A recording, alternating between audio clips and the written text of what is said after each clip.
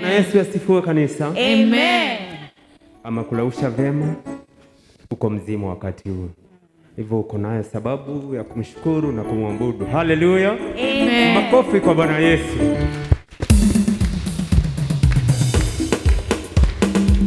Pigia Yesu makofi, mchezee manake uko na nguvu. Alpha, Omega, you are worthy of my praises today.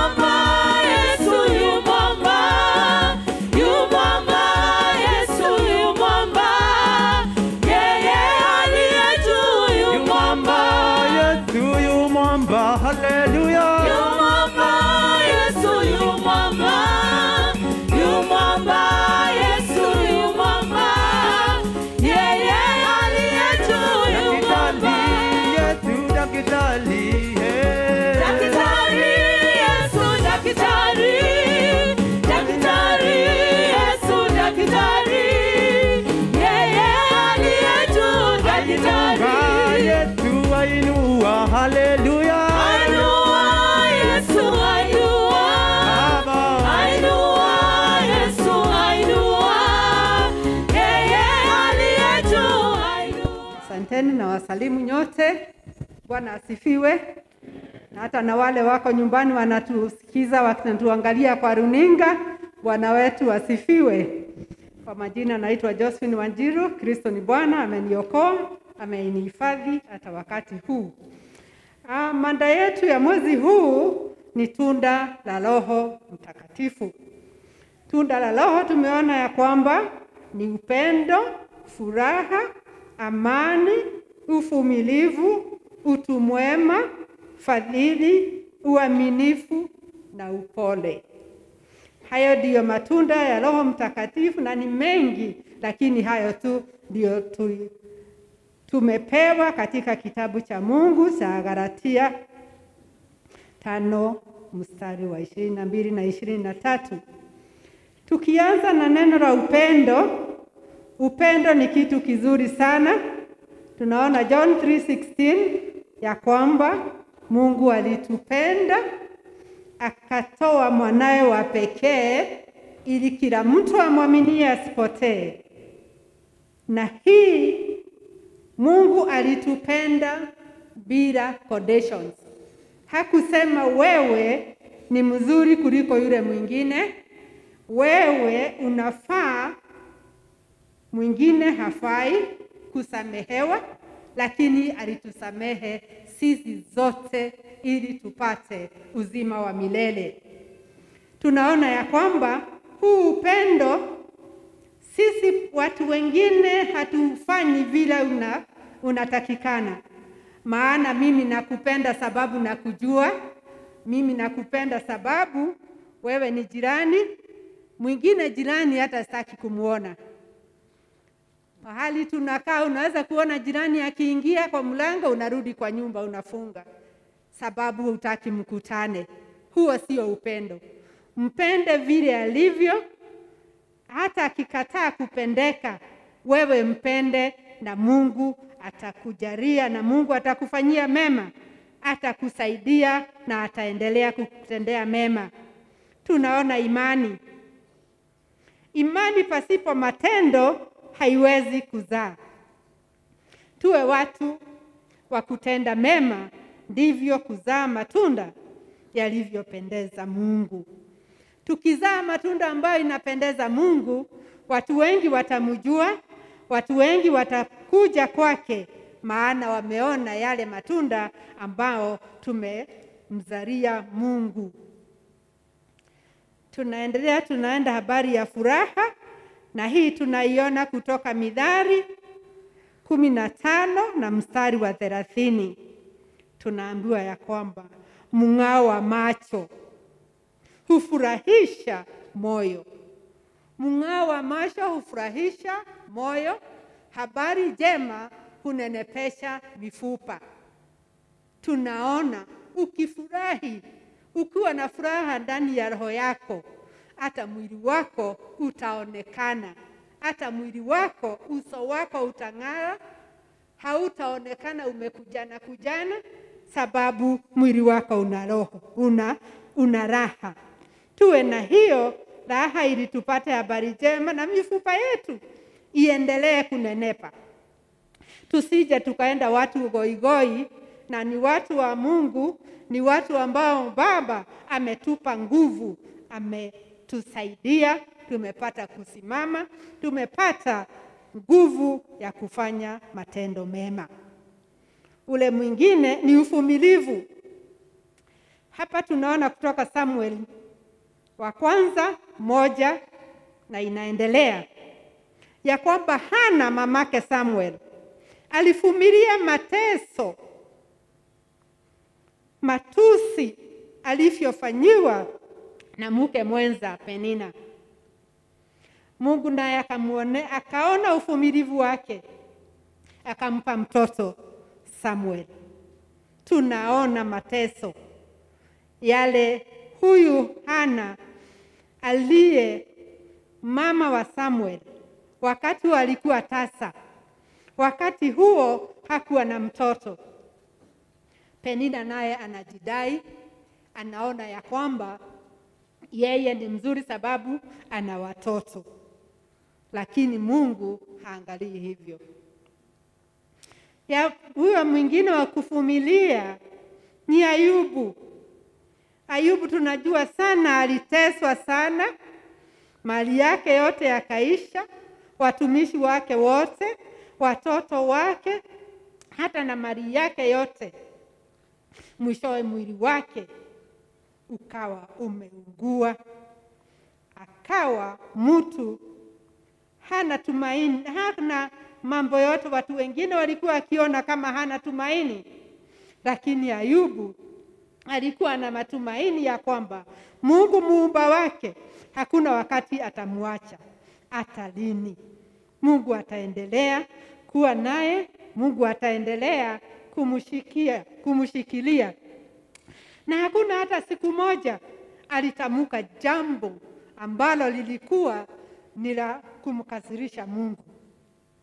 Na mwishowe tunaona vile Mungu alimbariki, akambariki na mambo mengi, mali nyingi, akambariki na watoto.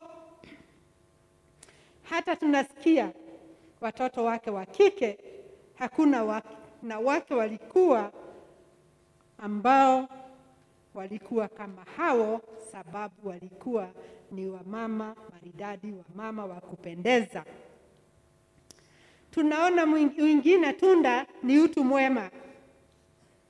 Utu mwema tunaona hiyo kutoka Matendo 9:36 tunaona Tabitha au Dorcas vile alikuwa akiwasaidia wajane, alikuwa wa-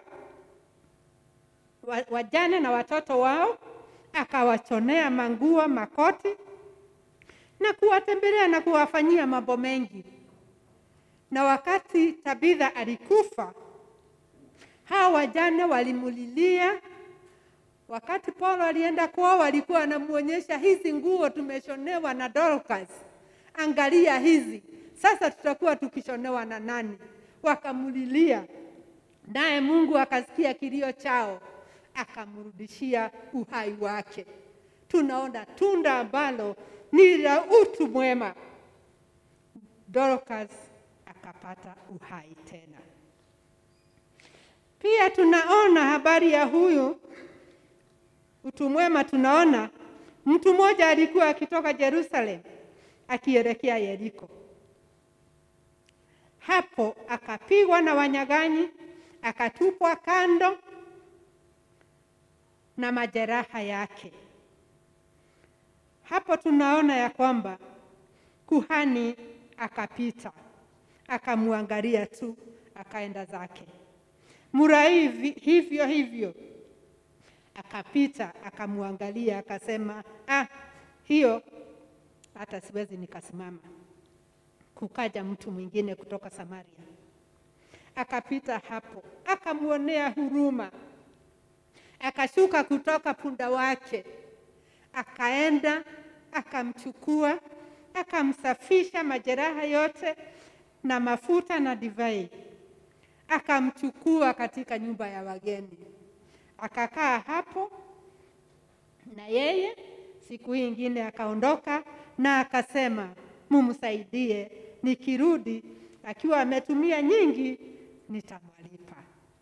Tunaona Msamaria mwema hata kama hajatajwa jina, tunajua alifanya kazi mzuri, na tunajua Wasamaria hawakuwa wanapendeka, sio watu walikuwa wanapendeka, walikuwa wakionekana ni watu wenye dhambi. tunaona ya kwamba alifanya kazi mzuri na akawa ni mtu wa kuaminika, sio kusema tu wale ambao wanasema Mungu Mungu ndio watu ambao wanamjua zaidi kuliko yule hata hatamuki neno moja. Tunaona uaminifu, hiyo tunaona katika Genesis kumi na mbili moja tano tunaona uaminifu wa Abraham.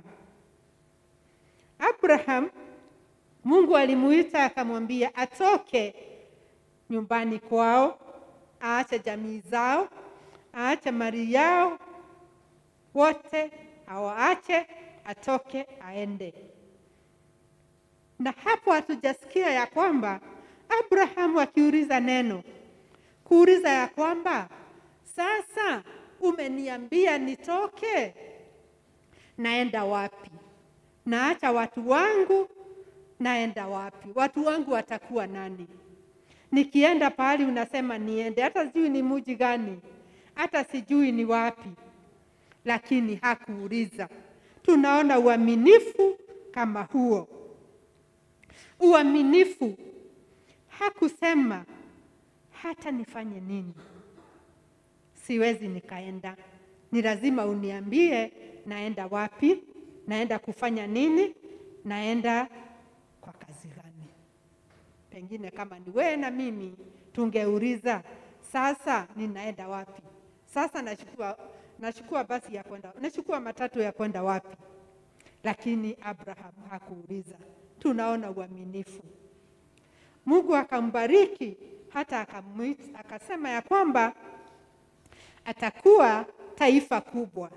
Na yeye hata tunasoma ya kwamba Abraham rafiki wa Mungu, Abraham akawa baba wetu wa kiroho.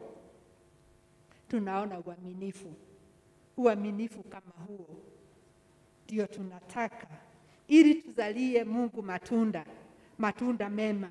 Maana tusipozaa matunda mema, hakuna watu ambao tutaleta kwa Mungu. Pia tunaona tunda lingine ambao wengine tunalilimia, tunaweka mbolea, tunanyunyizia maji, na hiyo ni uongo.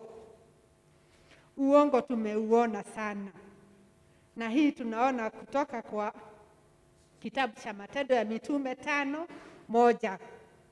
Tunaona Anania na mkewe Safira wakati waliuza shamba lao, sababu walikuwa wameagana wa- mitume wauze mali zao, I mean wauze properties, wapate pesa wapeleke, kila mtu apeleke chochote ambacho ameuza. Anania na Safira wakashikana wakaona ya kwamba tumdanganye Roho wa Mungu, tugawe kidogo ya matumizi yetu, ili tukipeana hizi hizi zingine tutaendelea tutaendelea kusomesha watoto wetu bila shida. Lakini Mungu aliona hayo, wakati aliulizwa akasema ndio tu ni hizi, naye akafa. Mkewe akaja pia akaulizwa akasema hivyo, wote wawili wakafa. Tunaona uongo, tunda la uongo ambalo walililimia, wote wakafa. Hata zile mali walikuwa wamegawa haziku, hazikuwasaidia hata kidogo. Tunaona siku hizi kuna hii tunda ambalo tunalilimia sana, uongo, na ni kwa, si, ni kwa hii simu ya rununu. Hii simu tunaichukua, tunaongea, mtu anatoka Westlands anakuja Nairobi West. Huyo mtu yuko Misiam, anakupigia simu, anakuambia halo, eh, unajua niko hapa Nyayo Stadium, jam kajamu kamekazana sana, na kumbe yeye yuko Misiam, na hiyo haoni kama ni uongo, hiyo haoni kama ni dhambi. Mwingine anatoka Thika anasema yuko Pangani, na ndio saa hii anaingia kwa matatu. Tunaona hii, tunalimia hilo tuna, na mtu hatusikii kama hiyo ni, ni dhambi. Tunaona ah, hiyo ni kawaida tu, si ataningojea. Ni afadhali ungemwambia ya kwamba ndio saa hii mi naingia matatu, ndio na yeye ajipange, ahesabu kutoka Thika kuja Nairobi atachukua muda gani, na wewe ufanye kazi ingine. Sasa huyo mtu anaku acha, umesimama umesimama, unagoja, unampigia simu, anakwambia unajua, nikajamu kametukaza sana, niko karibu kufika. Tujaribu tuone huo uongo, tuondoe, tuache kuhurimia huo uongo. Tukiona habari ya neno letu la kuongoza lile linasema ya kwamba shoka, hebu tuweke hapo neno la kuongoza, na sasa hivi shoka limekwisha kuwekwa penye mashina ya mti. Basi kila mti tunasikia chini ya mti, basi kila mti usiozaa matunda mazuri hukatwa na kutupwa motoni. Kama sisi hatutazalia Mungu matunda, basi shoka limewekwa chini. Wewe ndio unajua shoka limewekwa wapi. we ndio unajua ni wapi shamba lako halina mbolea. we ndio unajua wapi shamba lako haujaliweka maji. Tunaona mimea ikikosa maji inaanza kuanguka anguka, sababu imekosa maji, sababu sasa imekuwa haina rutuba au maji mazuri ya kusaidia. Mungu atusaidie ili tumzalie matunda ambayo itakuwa ikimfurahisha. Tunaendelea kwa lile somo ambalo tulisoma ya kwamba ya kwanza tunaambiwa ya kwamba hukumu itakaa katika jangwa na haki itakaa katika shamba lizao sana. Hukumu litakaa katika jangwa. Tunajua huko jangwani hakuna kitu ambacho kinazaa vizuri. Tunajua huku ndio hukumu ndio tunaambiwa, na haki itakaa katika shamba lizao sana. Hili shamba lizao sana ni wewe, matendo yako ambayo unaifanya, ni yale matendo yako mazuri ambayo unaliweka unalifanya, unaliweka shamba lako mbolea, unalinyunyizia maji, hivyo ndivyo lizae tunda mzuri, tunda la haki ambayo itakuwa ni amani. Kila mtu anataka amani, tunataka sisi zote tuwe na amani, na mazao ya, ya amani itakuwa ni utulivu. Tunasikia. Mazao ya amani ni utulivu, matumaini daima, na Mungu anasema ya kwamba watu wake watakaa katika kao la amani na katika maskani zilizo salama na katika mahali pa kumzika penye utulivu. Kila mtu hapa anataka kukaa katika makao ya amani. Bustani zetu tutakaa maskani yetu, ambapo tutakuwa tunafurahia yale mambo ambayo Mungu anatufanyia. Maskani yetu mm, itakuwa ni ya salama. Maskani yetu hapo katika mahali pa, pa kupumzika penye utulivu. Tutakaa pahali pa kupumzika, pahali penye utulivu. Heri nyinyi mpandao mbegu kando ya maji yote, tuwe kama ule mti ambao hupandwa kando ya maji au kando ya mto, ambapo hapo huo mti huzaa wakati wake ukifika. Wakati wa huo mti ukifika, huzaa matunda mema, na hayo matunda ndiyo tutayafurahia, na hayo matunda tutamzaria Mungu, na watu wengi watamjua Mungu ni nani, na watu wengi watakuja kwa Mungu. Wakiona yale matunda tunamzalia Mungu. Ni matunda ya haki, na sisi tutakaa katika pumziko ambalo lina utulivu, ambalo lina amani, ambalo sisi tutakaa. Ukija tunafurahi, tunasema tukae pamoja, maana tumewekwa katika maskani yetu ambayo ni ya utulivu, maskani yetu ambayo ni na amani. Hapo tutakaa tukimngojea Bwana hapo tutakaa tukisema ya kwamba Mungu wetu yuko pamoja nasi. Tukiangalia Yakobo 3:16 hapo inatuambia ya kwamba maana hapo palipo na wivu na ugomvi ndipo palipo machafuko na kila tendo mbaya na kila tendo baya, lakini hekima itokayo juu kwanza ni safi, tena ni ya amani, ya upole, tayari kusikiza maneno ya watu, imejaa rehema na matunda mema, haina fitina, haina unafiki, na tunda la haki hupandwa katika amani na wale wafanyayo amani. Hayo mambo yote ni yetu. Hayo mambo yote ndio tunatakiwa tufanye, mambo ya hekima, kusikiza maneno ya watu. Unaweza kukutana na mtu unaona anakusalimia, unanyamaza. Kama ungemrudishia habari mama, mzuri, au unanyamaza. Kama ungemwambia habari mama, mzuri, basi hata huyo mtu angesikia vizuri, ameongereshwa. Pengine alikuwa na mawazo mengi, ndio anakusalimia, lakini wewe na mimi hatuwasikizi watu jiani. Unaweza kuuliza mtu njia, akwambie nenda huko.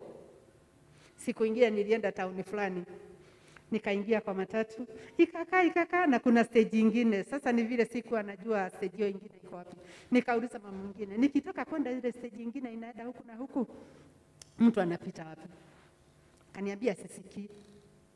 Sasa na alikuwa ananiuzia biscuit hapo, namuuliza sasa, unasema usikii na unaniambia ninunue, una, unasikia namna gani? Nakamwambia tena, nikamrudia, nikamwambia nakuuliza, nikitaka kwenda stage ile ingine ya kwenda mahali fulani, mtu anapitia wapi? Ni lazima urudi huko town uzunguke ndio uende? Ananiambia ati. Sasa imagine. Sasa mi nilikuwa tu, nilikuwa nimeingia kwa matatu, ni vile ilikuwa imekaa sana, na kama nilikuwa nje na sijui njia ya kwenda, sasa sio angenipoteza. Sasa mtu anakuwa ni vizuri kuongelesha mtu, sababu hivyo ndivyo tunawaambia tu, tuwe tukuongelesha, tuwe tunaongelesha watu wote ni dakika kidogo tu, hata yeye anauza hapo, wewe unatembea hapo, mtu anakusalimia, anakuuliza njia ya kwenda Mai ni wapi? Hata sijui, ndio hujui, lakini mwambie kwa upole, hata mimi ni mgeni, sijui njia ya kwenda Mai ni wapi. Tuwe tunawaongelesha watu kwa njia ya upole. Na nikimalizia, kuna wimbo ningependa kuimba ya, kumzalia Mungu matunda Zaeni matunda mema, zaeni matunda yale, zaeni